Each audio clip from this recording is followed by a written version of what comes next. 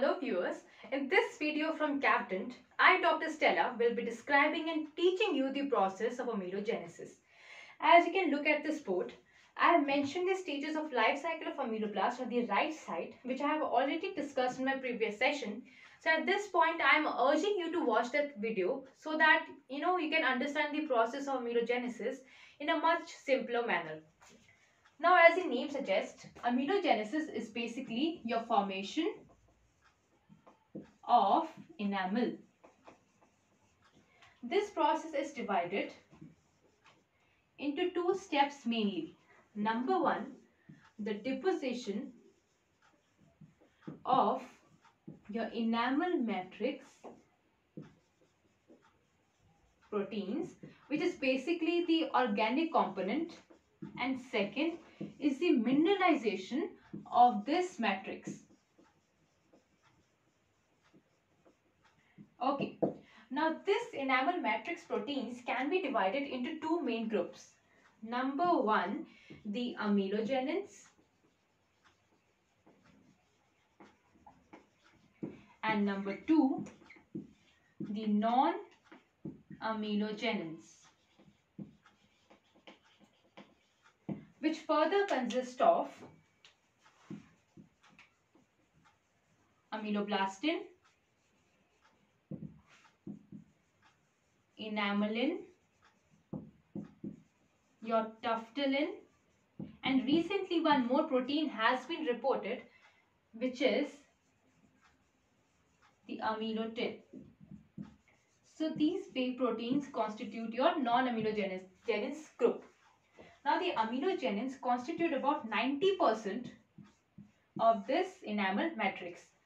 Now the mineralization of enamel itself is such that the final product of the enamel contains only 4% of this organic matrix while 96% is your inorganic portion. So this is the composition of your final enamel. This process of amelogenesis is further divided into pre-secretory phase where your inner enamel epithelial cells are differentiating or let me state in simpler terms they are getting ready for the formation of enamel that is they are differentiating to form ameloblast. In the second or secretory stage, these ameloblasts are actually secreting your enamel matrix proteins such that your whole thickness, the full thickness of your enamel is deposited. Okay, the enamel matrix proteins are synthesized in this stage. Now in the maturation stage, this enamel matrix protein degrade. As I mentioned earlier, only 4% of the organic matrix remains. So the enamel matrix degrades, which is followed by subsequent mineralization to form your final enamel.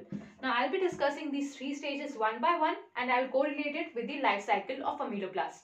Now in the pre-secretory stage, as I mentioned in simpler terms, your inner enamel epithelial cells are getting ready because they ultimately have to deposit and secrete your enamel. So this stage corresponds to two stages of the life cycle of ameloblast, your morphogenic and your organizing stage. Now as the name suggests, in the morphogenic stage, the morphology of your final crown is established. Apart from this, the inner enamel epithelial cells are low columnar in shape. Okay, these are your inner enamel epithelial cells. This is just a simplified diagram. Okay, so these are low columnar in shape. Number one, your shape of the crown is decided, and number two, your inner enamel epithelial cells are low columnar in shape.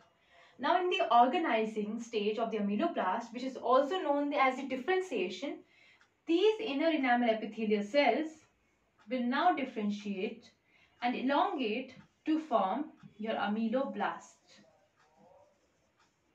Another change seen in your uh, organizing or differentiating stage is that the differentiation or the formation of ameloblast will actually interact with the dental papilla cell and induce them to form the dentine forming cells called the odontoblast. So by the end of this uh, pre-secretory stage, a thin layer or the first layer of dentine is deposited. And deposition of this layer is extremely crucial for the deposition of the enamel. Thus, by this point, I think you have understood that there exists a mutual interaction between the ameloblast and the odontoblast. Now, in the second or the secretory phase, the actual deposition of enamel begins. By this stage, you remember that the first layer of dentine has been laid down by the odontoblast. Now here the inner enamel epithelial cells have also differentiated into ameloblast, right? So as the deposition of the first layer, so this is your ameloblast cell, as the deposition of the first layer of enamel takes place, your cell is pushed away from the basement membrane. Now this gives rise to ameloblast forming a cytoplasmic process which is known as the Tomes process, right? So this process again is divided into two portions, the proximal portion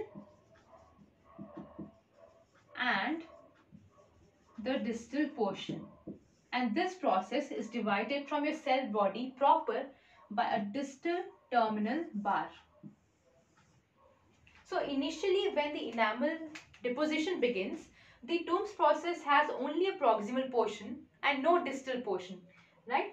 So as the first layer of enamel is deposited, your ameloblast are moving away from your basement membrane, a basement membrane right here. So the first layer of enamel that is laid down is without any rods and is immediately mineralized right? So remember, the first layer of enamel that is laid down by the ameloblast is immediately mineralized and therefore it does not contain any rods. So now after the deposition of the first layer of enamel, the proximal process of the Tomes process gives out a distal process too. Right? I want you to appreciate here at this point that since the proximal and the distal portion are both facing in different direction, so the enamel deposited by them too are facing the different directions. So the enamel or the matrix protein deposited by the distal process forms the enamel rod while the enamel deposited by the proximal process forms your interrod substance right? Now, as this process continues, uh, you know, eventually the Tomes process thins out as the ameloblast elongates. Your Tomes process will thin out and eventually disappear. So now these spaces that are now left are filled by organic matrix and form your enamel sheath. Thus by this point we have seen the formation of rods, the interrod enamel and the enamel sheath.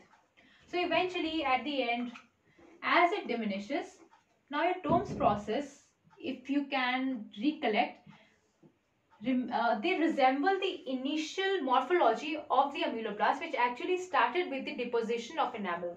So again the enamel that is deposited here will be rodless because since there is no Tomes process, there will be no differentiation in the directions. So remember, the first and the last layer of enamel laid down is rodless in nature while in the middle because of the different direction of the proximal and the distal process there is formation of rod, interrod substance as well as enamel in sheath. Now after the secretory process and prior to the initiation of the maturation or mineralization there is a stage which is the transition stage in which the ameloblast reduce in height and about 50% of the ameloblast undergo apoptosis or the programmed cell death and the organelles which are responsible for protein synthesis the organelles such organelles they undergo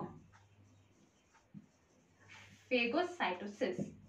This is the transition stage. Now in the third or final stage, that is the maturation stage, the degradation of the organic matrix commences followed by the subsequent mineralization. Therefore, very simply, it corresponds to the maturative stage of the life cycle of the ameloblast. So, in this stage, the ameloblast, they alternate and have, you know, smooth, this ruffled and smooth borders. You know, once this will have a smooth border, the next time it will have a ruffled border. And this is actually a cycle which happens about every 7, 5 to 7 hours in a day. And this cycle is known as modulation. That is the alternate ruffled and the smooth borders which are exhibited by the ameloblast in a cyclic manner is known as modulation. So let me explain in detail the ruffled and the smooth ameloblast. So this is your ameloblast with your ruffled end while this is your ameloblast with a smooth border. So in this ruffled border ameloblast, there is a tight distal junction while the proximal junction is leaky. This is your proximal junction. This is your distal junction and the opposite is present in your smooth border ameloblast. That is, the proximal junction is tight while your distal junction is leaky. So now let me tell you about ruffled ameloblast. So now the peculiarity is that it contains lysozymes and therefore it has an endocytic activity obviously for the degradation of the organic matrix. Now the matrix, the organic matrix which is degraded by this ruffled ameloblast enters into the smooth ameloblast via this leaky distal junction. So very simply this degrades and this takes up the degraded matter because of this distal leaky junction. Now you also note that the distal, now in the ruffled border, we have, very important, we have a calcium pump which help in the crystal growth. Thus the two purposes which are happening or the two processes which are happening in this process that is the destruction of the organic matrix is taking place and apart from this the mineralization is also taking place.